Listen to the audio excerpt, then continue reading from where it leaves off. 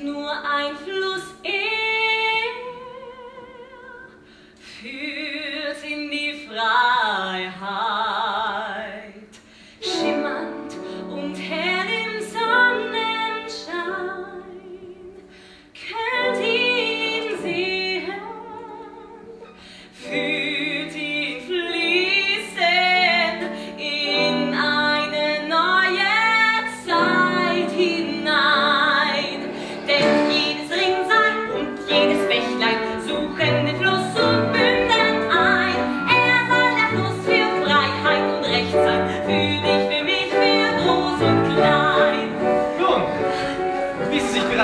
haben, übernahm Freier die Firma ihres Vaters, wobei sie eine Reihe von Reformen durchführte, die die öffentlichen Toiletten für alle Menschen zugänglich machten. Auf dass jeder Mensch nach Herzenslust pinkeln konnte, so viel er Lust hatte, solange er Lust hatte und mit wem er Lust hatte.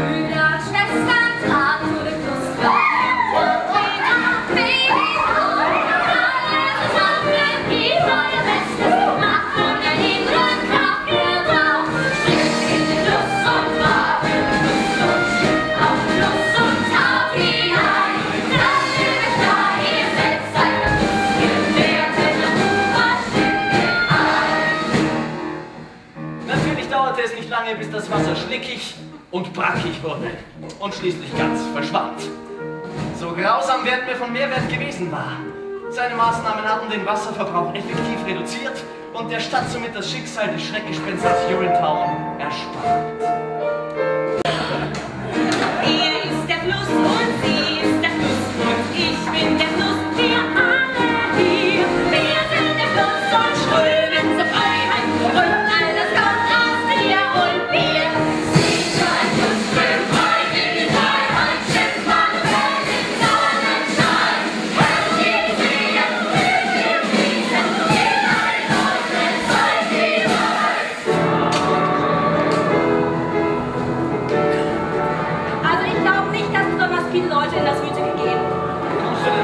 Kleine Erna?